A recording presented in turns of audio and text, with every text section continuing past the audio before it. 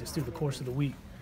Well, I mean, even when you're not getting reps out there, you know, mental reps is a thing Coach Spags and Coach Merritt uh, kind of emphasize throughout the week. So if you're not a, um, which they do a good job in subbing people in and out, um, then you should be standing on the sidelines, you know, kind of just going through the motions, and that's what they look for in guys uh, while they're on the sideline. Josh, you guys, you guys like this going on the road thing to, to get to the Super Bowl? You know what? Um, I know usually it's been coming to Kansas City, um, and even last year for me, all our playoff games at home. Uh, it's cool with me, you know. Um, I don't think any of us have a problem going anywhere and playing, but um, you know, I'm sure the fans would much rather be in Kansas City. You guys have another second half where you allow seven points or less last last week. What's been the biggest reason for that dominance in the second half?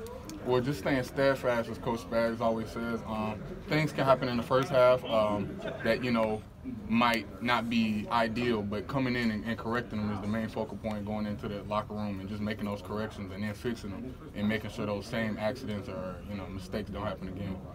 You know, a lot of people talk about their, their rushing attack, they're the number one rushing team, but Lamar has improved as a passer. Mm-hmm. Uh, they've got big play guys like Zay Flowers. What do you see from the passing game in preparation for Sunday? I think it's something that's uh, slept on. I think Lamar Jackson is a great passer. Um, and I think that's something we'll have to take into account, and absolutely will take into account. Um, as long, I mean, also with his legs, you know, he's a very dynamic player, and um, we're just gonna have to stay disciplined with everything we do, just like every week. You know, staying disciplined, making sure we're doing our due diligence and uh, playing our right techniques. Everyone talks about you know secondary and, and the passing game, but just how much is is secondary in the run game even more impactful in the playoffs? I think having uh, DBs like ourselves who do come and, and, get into the run game and help tackle is a huge emphasis just throughout the season, especially in the um, postseason. Um, a lot of times you see, you know, uh, big runs happen because of guys in the secondary not coming and getting the runner down. So um, throughout the week, you know, uh, we can't tackle during the week, but we do do you know fits and, and make sure we're putting ourselves in positions so in game we can make those tackles.